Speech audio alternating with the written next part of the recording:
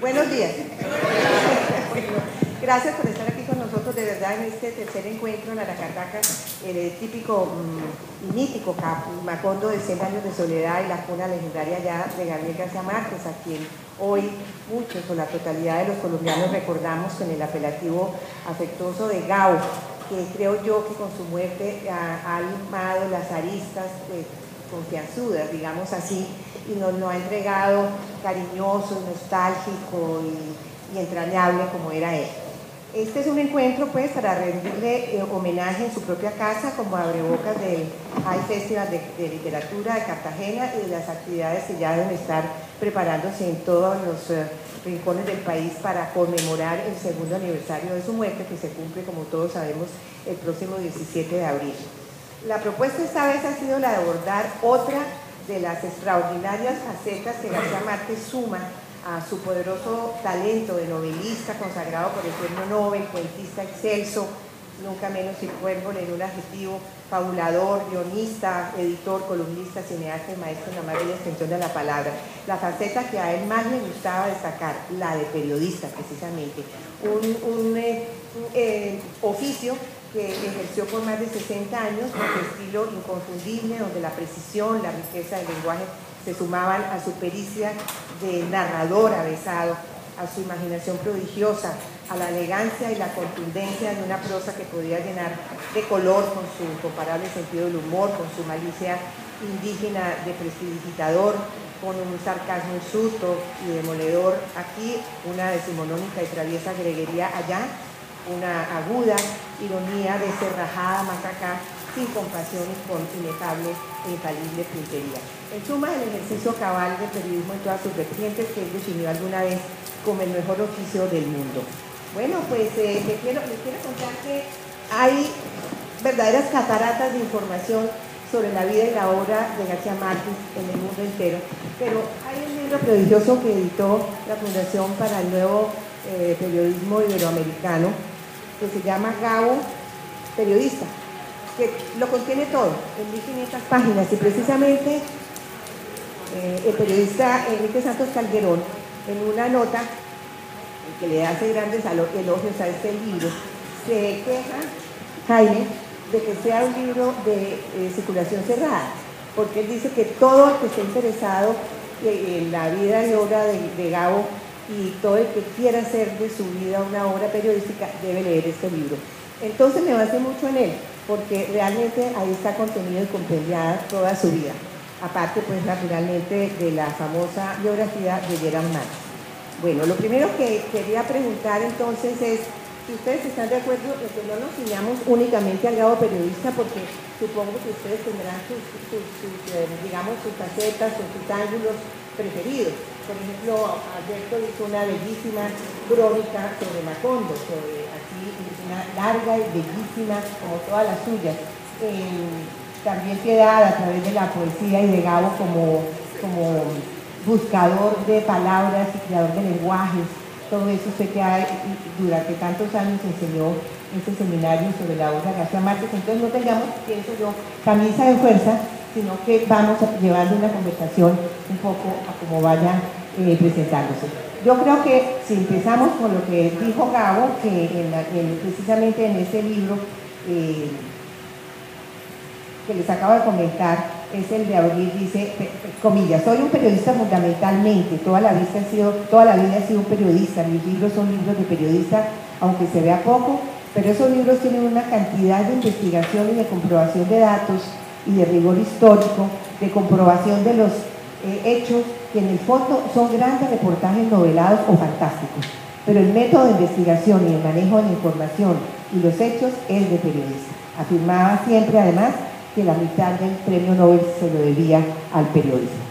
Entonces, para empezar con el tema periodístico, yo creo que le doy la palabra a Jaime Abello Banfi, que fue su amigo, quien fue cofundador de, la Fundación Nuevo Periodismo Iberoamericano y que conoció en, digamos, en grado sumo las preocupaciones que tenía Gao por el tema del periodismo, el ejercicio, los periodistas que se iban formando, que lo llevó precisamente a fundar eh, esta, esta, obra. Muchas gracias, eh, Margarita. Primero que todo quiero darles un saludo a tantas personas amigas eh, de Aracataca, del Magdalena, aquí presentes, y, a y sobre todo a una comunidad que, eh, pues que tiene ese vínculo afectivo y cultural con el legado eh, de Gao y que mm, pues yo celebro que este tipo de encuentros se den, hay que intensificarlos porque es importante que nos liberemos de los lugares comunes alrededor de Gao y que profundicemos en su vida y obra. Y justamente una de las cosas buenas de este eh, tema que se ha propuesto es que nos permite mirar no solo eh, el oficio y la obra de García Márquez en lo que podríamos llamar periodismo, no ficción, etcétera, sino también ver un poco de sus características. Y yo creo que empezaría por ahí. Como yo había conocido a García Márquez en el 83, pero empecé a hablar con él de estos temas en el año 93. Y su preocupación evidentemente era primero la de un hombre apasionado, convencido de que el periodismo era algo que valía muchísimo la pena. Y aquí quiero señalar que García Márquez se dedicó al periodismo durante más de 50 años. Eso es muy importante. Eh, lo segundo es que se notaba que era una persona que había modificado eh, seguramente por su propio papel de hombre público sus percepciones sobre el trabajo periodístico. Yo explicaba eh, que no es lo mismo, por supuesto, el Gabo reportero inicial que el Gabo convertido en sujeto de la noticia, como me imagino que a él se quejó de haber sido, de que tantas cosas se inventaron sobre él, que fue tan atropellado en cuanto a los hechos reales por muchos dichos de los colegas. Y yo creo que en la suma, digamos, un análisis amoroso, eh, comprometido con el periodismo lo llevó a la idea de que definitivamente era algo que valía la pena crear esa fundación.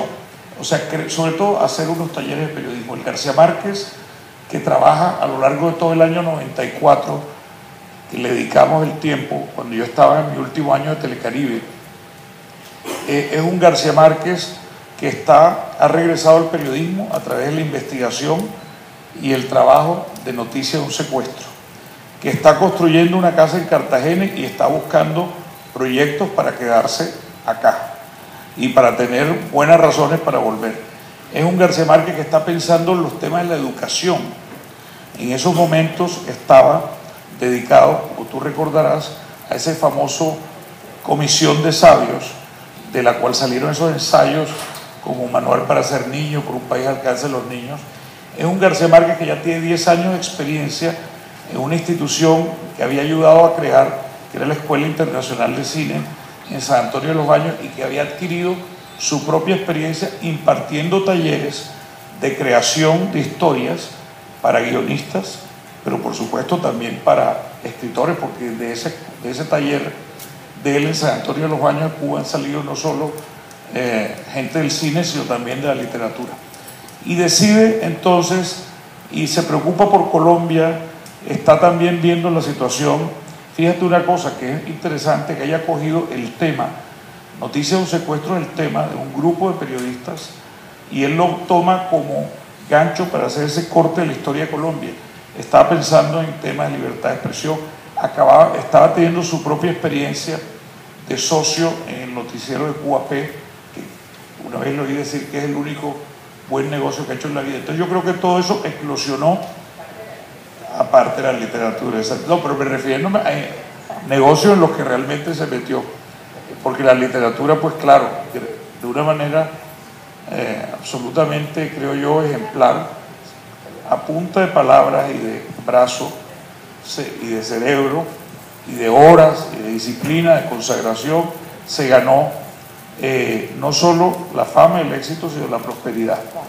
Entonces, García Márquez eh, es importante también tener presente que él en el periodismo hizo una carrera completa, sobre todo en la primera etapa.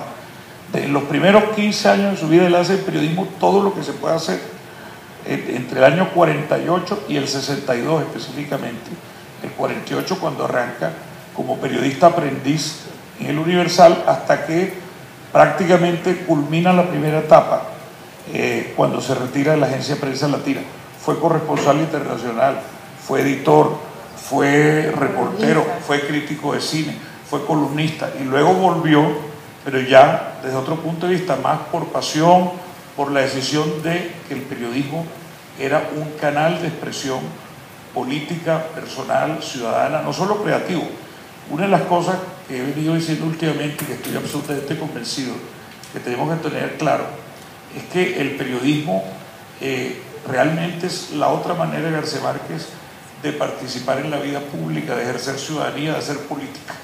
Y eso, por supuesto, hubo unas fases, como del famoso periodismo militante alternativa, en la cual eh, además se convirtió en instrumento, digamos, de una proyección política específica. Pero al final el tema es las historias, otra manera de escribir, pero también de participar en la vida cívica, de opinar, de hablar sobre todo de Colombia. El gran tema del periodismo de García Márquez, entre los principales, fue Colombia. Sí, bueno, eh, en un artículo suyo, estuve por ahí leyendo, dice usted que la violencia, y particularmente el bogotazo, el 9 de abril de 1948, fue lo que convirtió a García Márquez en periodista.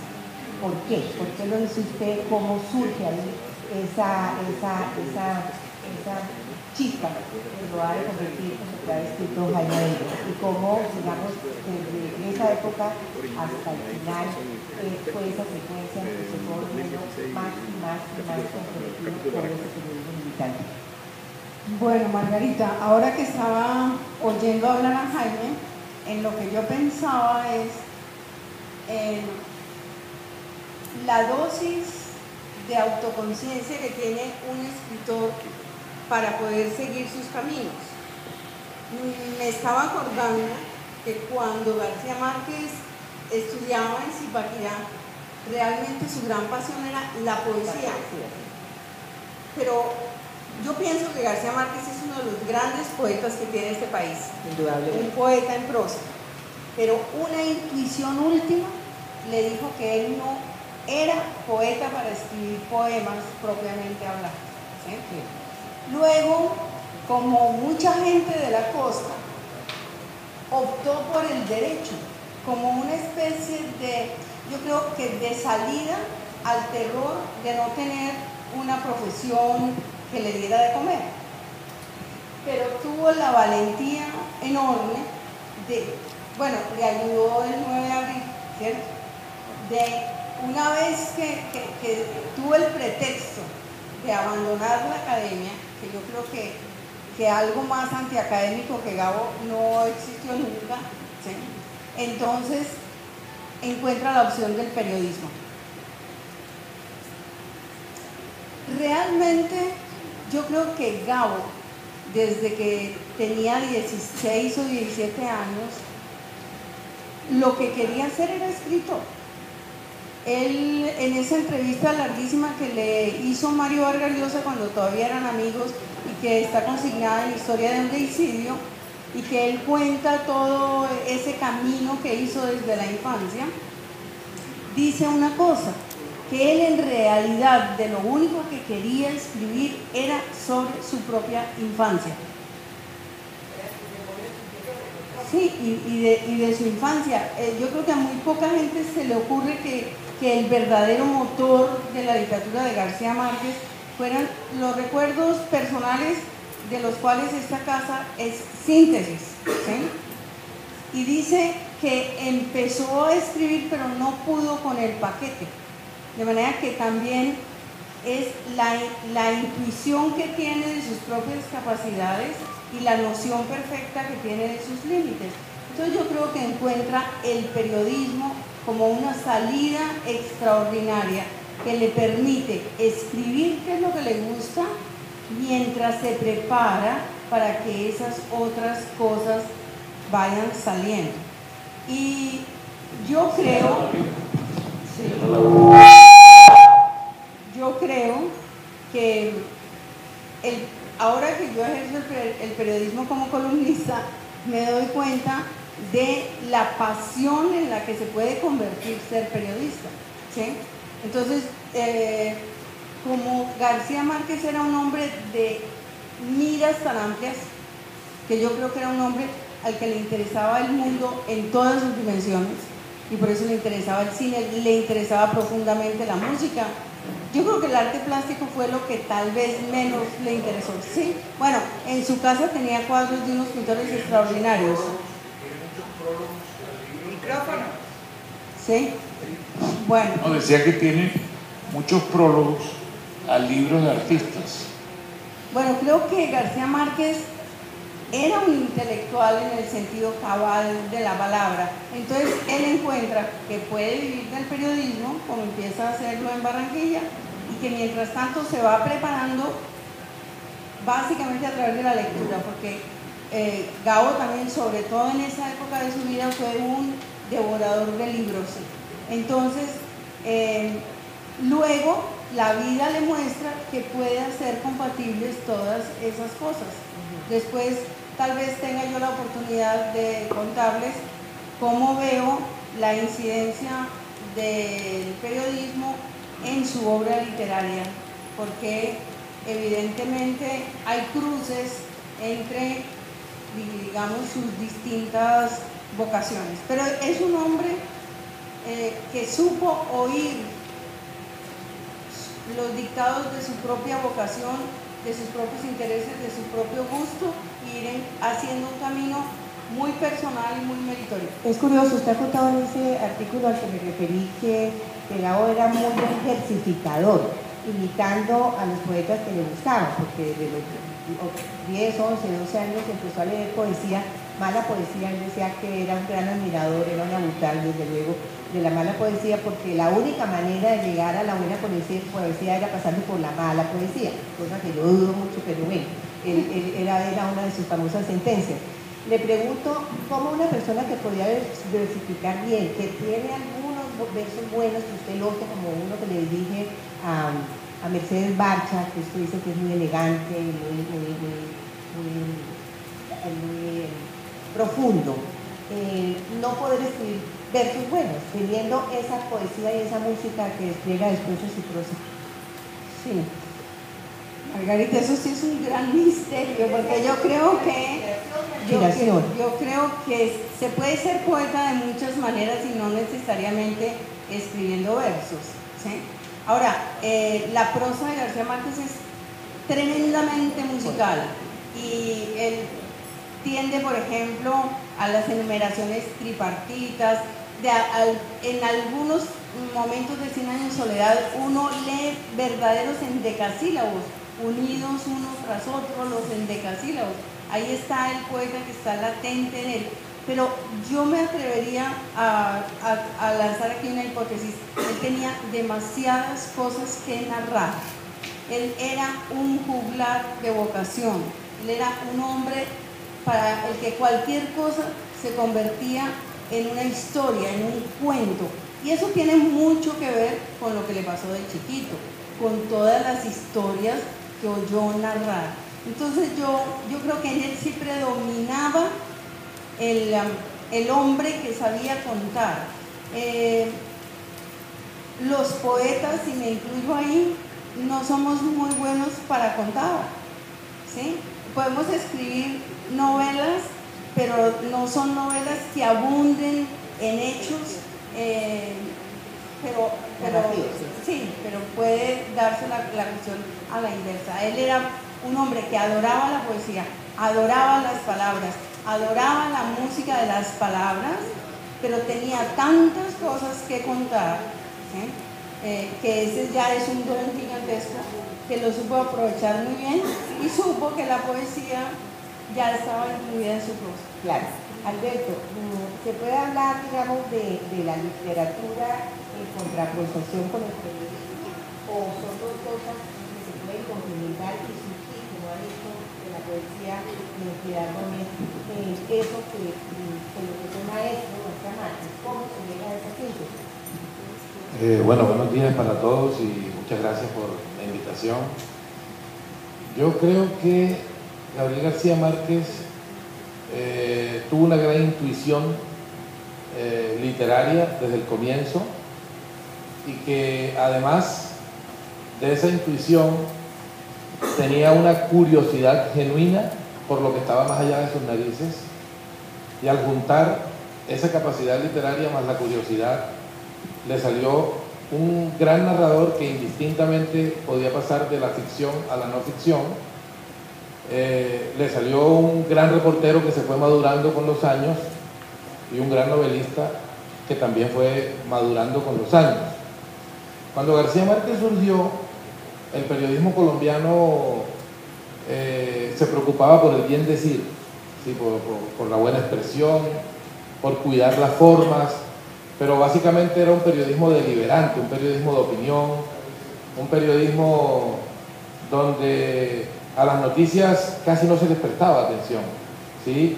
De hecho, se les prestaba tan poca atención que algunas eran guardadas cuatro o cinco días, como si no fuera nada grave, como si pudieran refrigerarse igual que, igual que la carne que uno compra en el mercado. No, no había síndrome de la chiva en ese no, No había síndrome de la chiva, las noticias andaban en duro. Yo crecí en un pueblo donde recibía el periódico El Tiempo a las 4 de la tarde. A las 4 de la tarde cuando ya eso no es noticia prácticamente, ¿no? Cuando ya está el proceso del otro periódico, sí. Gao pertenece a una tradición que, digamos, el, el primer sentido de noticia que él tuvo era el sentido de la noticia en la esquina, el de la vida. Yo estoy seguro de que él encontraba más noticias asomándose a la ventana que leyendo los periódicos de aquella época. ¿sí? Él también cultivó al principio el periodismo de opinión, pero en algún momento sintió que eh, ya no le, era suficiente para lo que él necesitaba expresar. Eh, Gabo intuyó que eso de periodismo y literatura tiene unas fronteras eh, que son borrosas pero que son muy claras al mismo tiempo.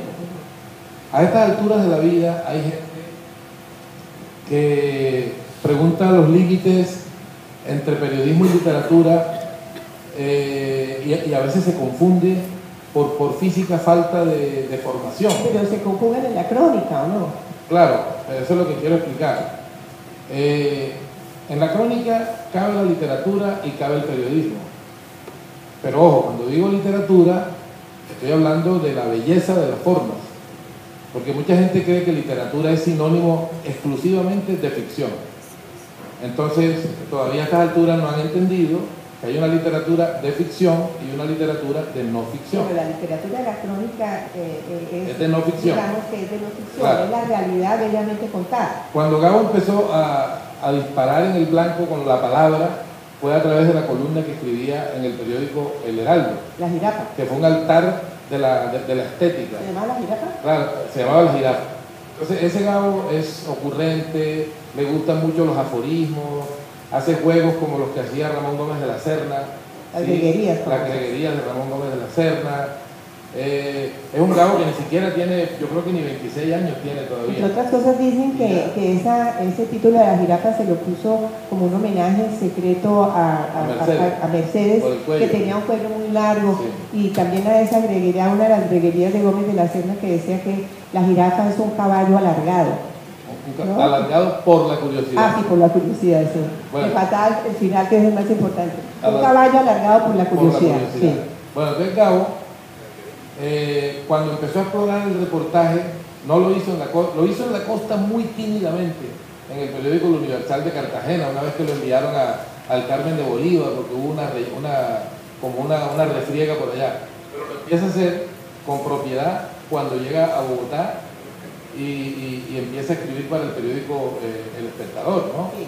Cuando arranca con las crónicas de Marinero Velasco, que son realmente eh, las que lo catapultan. Incluso antes, incluso antes Velasco ya él había hecho reportajes donde se veía eh, esa, esa, facilidad de hibridar eh, la realidad con la buena forma en la, en la, en la eh, entonces lo primero que yo destacaría sería eso, que, que Gabo supo moverse entre las dos aguas. A caballo. Sí, y, y tenía reflexiones maravillosas, por ejemplo esta. Él decía, cuando un cuando una crónica es buena, parece que estuviera contándonos algo que es mentira. Y cuando una novela es buena, parece que estuviera contándonos algo que le sucedió al vecino esta mañana.